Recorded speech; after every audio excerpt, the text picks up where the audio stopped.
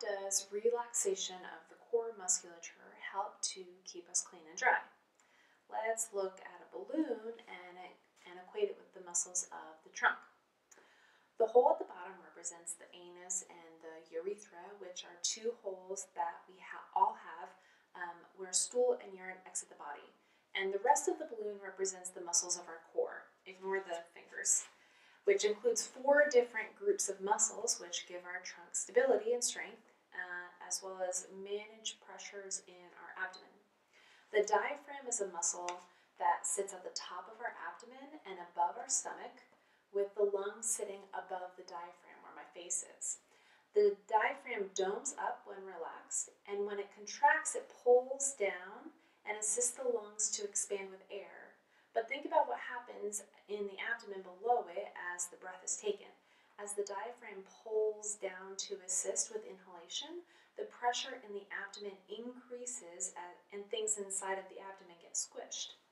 The muscles of the pelvic floor sit at the bottom of the core and are what support our abdominal and pelvic organs and keep stool and urine and gas inside. The muscles of the pelvic floor typically work in synchrony with the diaphragm, which is why breathing is such an important part of pelvic floor therapy. As you inhale and the diaphragm pulls down, the pelvic floor muscles slightly relax and shift down to accommodate for the increased pressure in the abdomen. This helps prevent the leakage of stool or urine at the bottom. So as the diaphragm pulls down, the, the pelvic floor muscles pull down. The abdominal muscles and the back muscles are like the sides of the balloon wrapping all the way around back to front. Those are the muscles that make up our core. As the muscles of the core contract and tighten, the pressure within the balloon increases. Eventually, if that pressure increases enough, the air will want to escape through the hole at the bottom, and if it can't, the balloon wants to burst.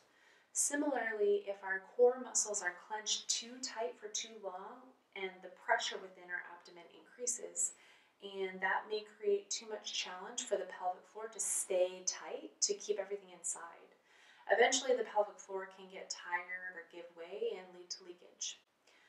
Another possibility is that the muscles of the core remain too tight, and because of that, the motility within the intestine is slowed because of the limited movement in our abdomen. If the muscles in our abdomen remain too tight for too long, they restrict the movement our intestines are able to typically create, which is peristalsis. And that process can slow down or stop because there's too much pressure on the abdomen, and then food won't be able to progress through the intestinal tract.